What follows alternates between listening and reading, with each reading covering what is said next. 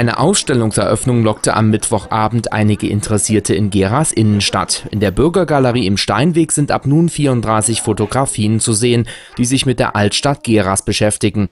Es sind Ansichten von Gebäuden, die Jana Huster im Bild festgehalten hat.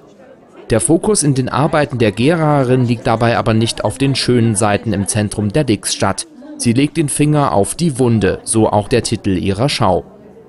Ich wollte auf die Schwachstellen in dieser Innenstadt aufmerksam machen, weil das einfach ein, ein Problem ist, finde ich, ähm, dass Leute, denen Haus gehört, das nicht instand halten. Also nichts dran machen, das einfach verfallen lassen, dass da zig Plakate kleben und das hat mir nicht gefallen. Und da wollte ich mal aufmerksam drauf machen und sagen, hier, ihr könntet sie wenigstens einen Schuss halten, wenn ihr schon nicht sanieren könnt. Was ich ja verstehe. Ich verstehe, wenn jemand kein Geld hat, aber es muss nicht so aussehen.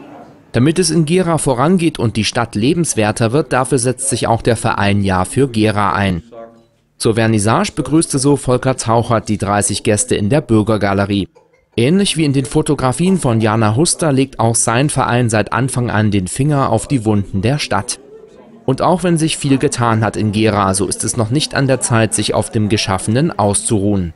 Es gehört auch dazu, dass man neben den schönen Seiten der Stadt immer wieder auch aufzeigt, wo wir noch was zu tun haben. Das heißt also nicht nur, dass das in Richtung Stadtverwaltung geht, dass das also in Richtung großer Investitionen geht, sondern manchmal sind es Dinge, wo man einfach nur als Bürger, dort wo man Verantwortung trägt, Hand anlegt, dass man mit einer Idee es auch äh, gestaltet, dass sich welche zusammentun und sagen, so kann es eigentlich nicht weiter aussehen.